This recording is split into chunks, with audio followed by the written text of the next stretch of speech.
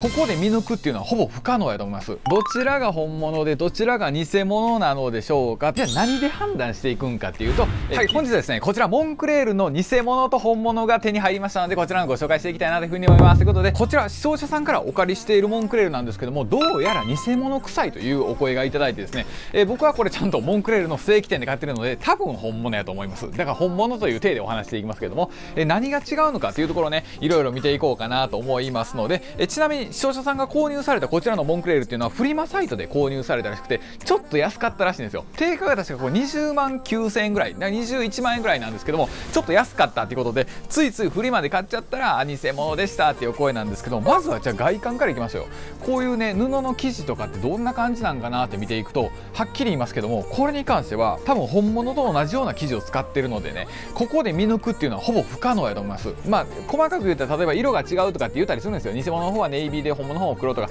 こんなことすぐに変えれますのでこんなんは別にあんまり違いにはならないんですけどもちょっと開けたいなと思います。で僕ね第一声パッて見た瞬間にあ全然ちゃうわって僕は思ったんですけどもこれ人によったら同じって思う人もいてると思います。まずはじゃあこれね A の方を開けさせていただきました。そして次 B の方開けていきましょう。ではではどちらが本物でどちらが偽物なのでしょうかとそっくりな感じに見えると思いますけども、え皆さん分かりますでしょうか？僕はねこれまあ映像越しだとちょっと分かりづらいかもしれないんですけどこっちの生地感見ててくださいね。こういう感じの生地感かと。で一番分かりやすいのは今回生地です生地が一番分かりやすいということでそれ以外のパターンとかに関してはまあまあほぼほぼ似てるじゃ似てるんやけど生地がもう全然違います。で多分これぐらいの距離で見てたら多分はっきり言って分からへんと思うんですよ。だけどこれぐらい近づいてくるとまあちょっとずつ違いが出てくるかななんていうふうには思いますね。こっちでも一回見てみましょうか、えー、こういう感じの生地感と、えー、こういう感じの生地感と。若干同じくテカテカしてんねんけどもちょっとゴミ袋っぽさがあるっていうところがね偽物のところで本物の方はそういうなんか変ななんか小じわみたいなのないですけどね。まあそういった違いがあるんですけどもまあごちゃごちゃ言う前に一回着ていきましょう。着ていってねあのどんな感じなんかっていうのを見ていってもらいたいなと思いますのでまずは本物の方サイズ3からね着用していきたいなと思います。僕ついこの間ねここのジップ壊れたんですよ。で壊れたんやけどももちろんこれ本物で買ってる阪急メンズ館のね大阪のとこで買ってるまたカンドルやないかいこれ。あの買ったんで修理は無料でね受け付けてくれましたけどこれカンドルやないかい。またこれが3というサイズ感ですね。まあ僕1 7 8センチで68キロだったらまあ大体普通ぐらいですかね。まあ3っていうサイズ感で着用しております。これ本物ですよ。そして次がね偽物なんですけども偽物の方のサイズ感は多分ワンサイズちっちゃいんでしょうね。丈とか着丈そういう丈あんま足りてないんですけどもね。こういった感じでちょっとワンサイズ小さめではなってるんですけど皆さんから見てどうでしょうか？本物っぽく見えてるでしょうか？ちょっと分かりませんけどもね。あ着た感じがはいはいはいなるほどこんな感じかっていうことなんですけどもね。次はねじゃあね何が一緒で何が違うんかっていうとこ見ていきたいんですけども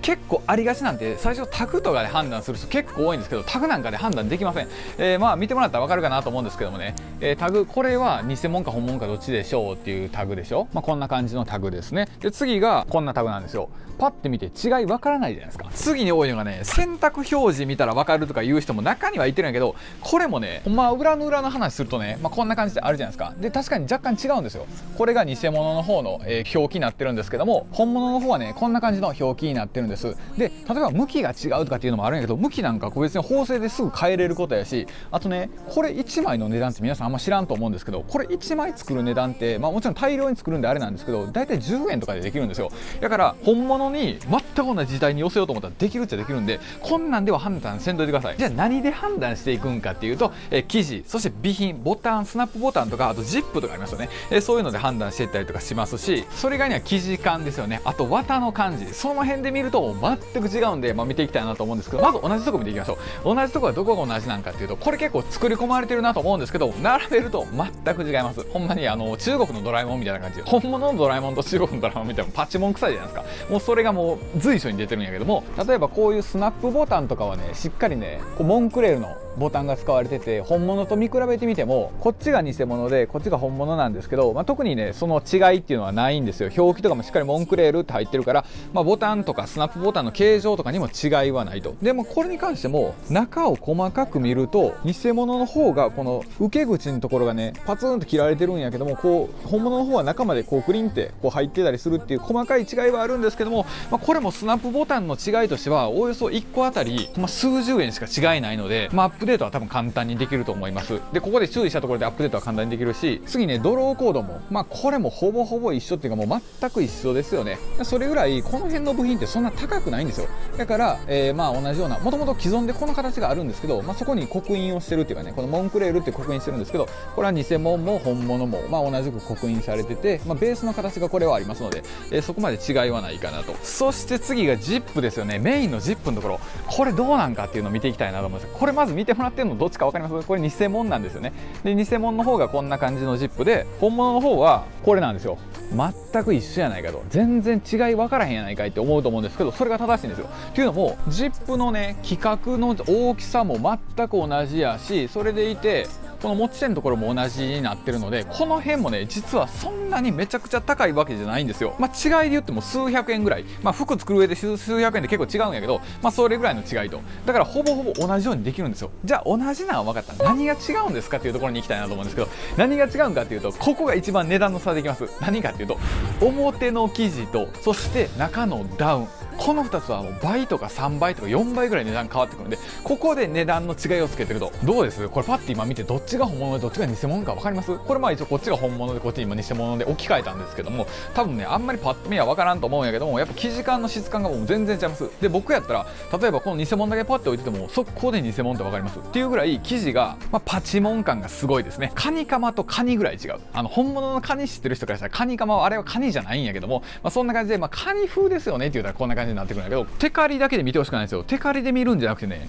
これ実は生地の上にちゃんとコーティングされてるテカリ方してるんですよね。この本物の方っていうのは。でも偽物の方っていうのは生地の上にコーティングっていうよりかはそもそも生地自体も違うし一応コーティングはしてるけども別にこれしてるからって水弾くようなコーティングでもないと。だからただただテカテカしてるだけっていうような生地なんですよ。本来これはねこう小雨の時とかに水弾いたりするためにコーティングはだとしてるんやけどもそういう感じではない。これは本物ですよ。これは本物なんやけどもえ偽物の方は全然そういった感じがないのでもう生地から全然ちゃいますよねっていうところが違います。だからもし仮にねモンクレールまだ持ってないねんと。でこれから書いたんやけど偽物か本物か分からへんっていう方はね記事で見るのってはっきり言ってちょっと難しいと思うんですよ。やけどパッて触った時にあ高そうって思ったら いいかもしれん。だけどあれこんなもんなんと思ったらもうほほぼ99%偽物やと思っていいんやけども基本的にパッと思った瞬間にあ高そうって思ったらまあまあまあ本物の可能性あるかなっていうぐらいでいいと思うんですけどまあこうやってね何件何着も僕みたいに持ってたらもうパッと見ただけで忘れちゃうなと思うけど普通一般の人はそこまで分からへんと思うんでまあ触ってみてあれ？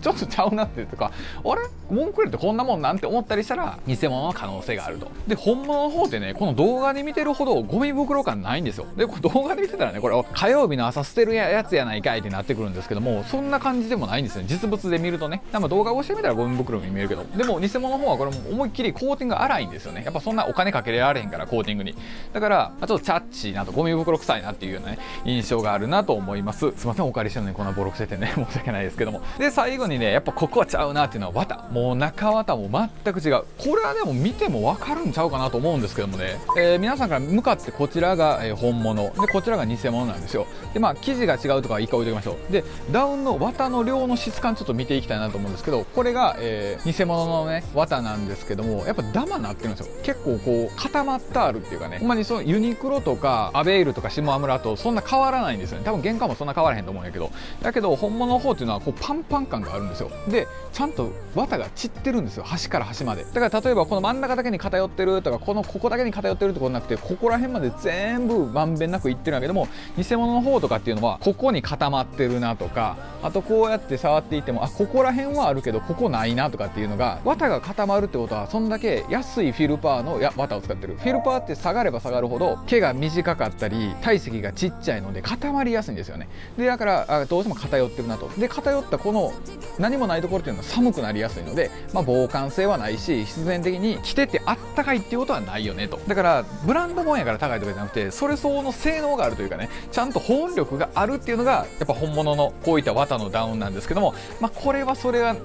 まあないとは思うのでまあ、ユニクロぐらいとかそれに近いぐらいはあるかもしれないんですけど、まあ、それ以上のね性能はないかなと思います。だから皆さんね最初に戻るんですけども比較対象でまずタグ見ようやとかねジップ見ようやとか洗洗濯ダ見ようやと言うけどそれ原価なんぼかしてますかとめっちゃ安いからそんなすぐに作れるんですよ。偽物もね。やけど原価の高いところって合わせられるんじゃないですか。だって原価高い偽物作っちゃったら利益なくなっちゃうから原価をどっかで下げてるんやけども備品はそんなに誤差やからしゃあないあのいけるとしてもほんまに差が出るとこってどこって言われたらやっぱりここの一番高いとこ生地とあと中綿なんですよね。そこの差がね思いっきり出てるっていうとこなんで見た目さえ良ければよかったら偽物でいいと思います。やけどちゃんと温かさが欲しいとかちゃんと多少の水は走ってほしいっていうんやったらちゃんとした性能のものじゃないと正規店じゃないとね、まあ、この辺りは厳しいかなと思います。あとそれ以外にも、まあ、多少ハンガーが違うとかありますよ。例えば見てください。ハンガーもねこれモンクレールって両方なってるけどパッてひっくり返すと本物の方にはこういうロゴあのー、なんかちょっとかけ方みたいな書いてあるけど両方とも、えー、モンクレールってこれ書いてます。だから違うっていうそういう浅はかなこともいいんやけどもそれしても結局合わせれますからあのハンガー作るぐらいやったらそんなお金かからへんからあじゃあこれと同じハンガー作ったらえって言っていたちごっこなんですけども結局どんだけ違いがごまかしたとしても最終的にごまかされへんのは生地とそして中綿ここはお金がかかるからごまかされへんということなんでこれはね非常にいい比較になったんじゃないかなと思います。だから見た目さえ良ければ全然ね問題ないと思うんですけど例えばこういう袖口とか見てもね本物との違いほぼ分かりませんよね。ちなみにこっちが偽物でこっちが本物なんですけども何がちゃうんやろと。もうほぼほぼ一緒やんって感じなんやけども大事な肝心なところが違うと。でパターンとかも合わせに来てますよね。で、えー、こういう例えば縫製のこういう丸っこい部分ってモンクレールらしい型の部分なんですけど、まあ、そこが例えば本物はちゃんとここまでいってるけど偽物はここまでしかいってないとか言うてもこれもパターン引き直したらまたできるんでこことかで見るっていうよりかは触った時の生地感そしてダウンがダマになってる。で固まってどっか端に寄ってる。えこんなもんなんてなってきてユニクロと変わらんやんって。こうペシャンってやっても帰ってこうへんとかね。なった時には本物の方ってやっぱペシャンってしてもちゃんと返ってくるんですよ。それがやっぱ違ったりするんでまあその辺でね実物触ったりされる方がいいかなと思いますいますがまあ常日頃言ってますけどとにかく正規店で買ってくださいって僕はもう散々言ってますけどもまあこういうねあのフリーまで買っていただいたおかげでこうやって比較ができますので、まあ、それはそれで、ね、ありがたいなと思うんですけども、まあ、皆さん偽物にね捕まされないようにしてくださいということでこういうの来たら行き場ないですからあの売ることもできないんですよ。売ったら法律違反になりますのでとにかく自分で持っとくかそれとも処分するしかないんですよね。だからまあ僕はこの方にもう一回お返ししますけどもたまに高田さん買い取ってくださいとか言われるけど買い取ったら法律違反になりますのでっていうことでねあのできませんのでまあそんなことで本日はですねモンクレールの本物と偽物の比較をしてみたという動画になってます。また別動画でお会いしましょう。ありがとうございました。拓造のメンバーシップの方を募集しております。えー、先行動画が見れて限定動画もやっちゃってます。そして飲み会があったりとかカレンダーを毎月プレゼントしておりますので僕と同じカレンダーにしてみましょう。そしてお名前のスポンサーそして記念品をプレゼントさせてもらってるので下記の方法からメンバーシップお待ちしてます。